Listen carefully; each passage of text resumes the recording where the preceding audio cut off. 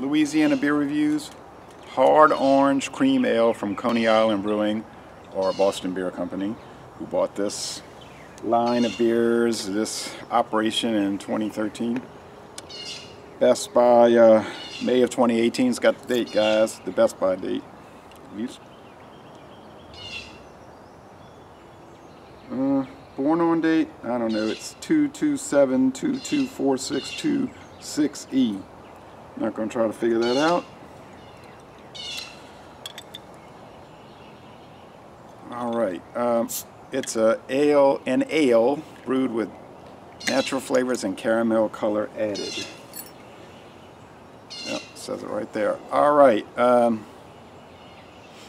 in collaboration with the Boston Beer Company. Yeah, since they own it, makes sense.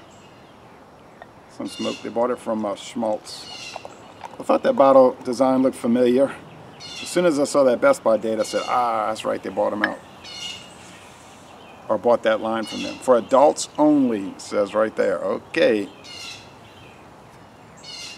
The head's to die right away, that white head, that that soft drink type head. It's a kind of copper color, orange copper. It's colored. Um, so Beer Advocate says it's a 68 out of 100. Kind of okay in the way they see it. Uh, RateBeer saying it's, no Untappd saying 69 out of 100. Then RateBeer saying, oh no, a 12 out of 100. A horrible product. But in the style, what they call a shan Shandy Radler type thing, it's a 93 out of 100. So that tells you they don't like the style. I don't love the style, honestly. I never think to myself, man, I want to drink a Shandy or a Radler or flavored beer, but try to be fair with it. Let's go. Okay, oh. It smells like um, a cream soda. Not cream ale, cream soda, like a A&W cream soda. Uh-oh. Not what I was looking to drink, but I didn't know. Okay. It smells literally just like that. And I don't know how to describe that. How do you describe a cream soda smell? Like sugary, candy-like, like those root beer candies, sort of like, maybe it does smell like a root beer.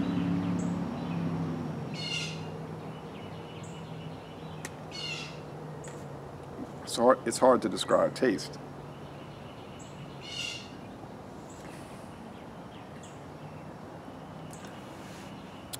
Orange.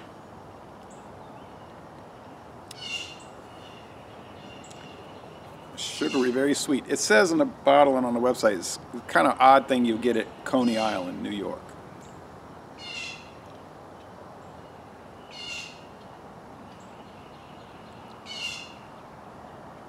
Some spiciness, which I guess you get some kind of spices in those cream sodas slash root beers.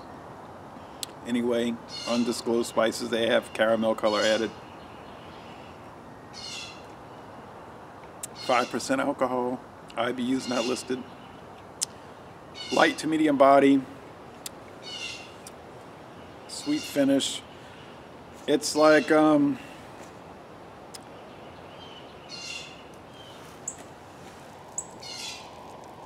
it's just like all these other uh, like hard sodas. That's what it is. Um, I was kind of wary about buying it when I bought it at Albertsons in Baton Rouge. I said, I'm on a U.S. Highway 61. Um, southbound in Bat Baton Rouge. I said, I don't know about this, but I'll try it.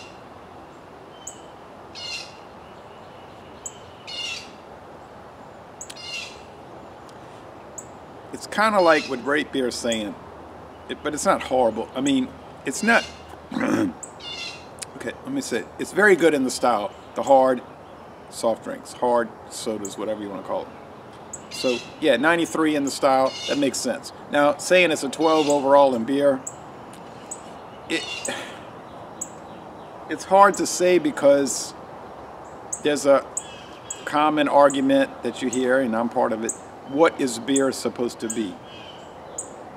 This is not what I would say beer should be. And it's sort of like you want to say it's an illegitimate style. It shouldn't exist. It's a flavored malt beverage.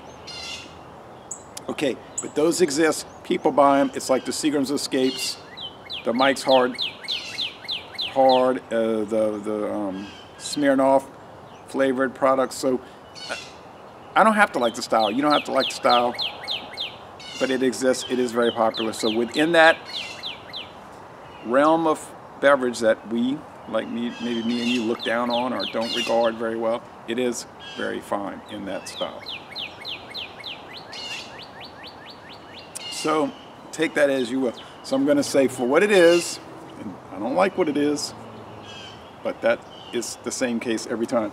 But for what it is, it is a most excellent product. We'll say 93 and A, uh, A beer.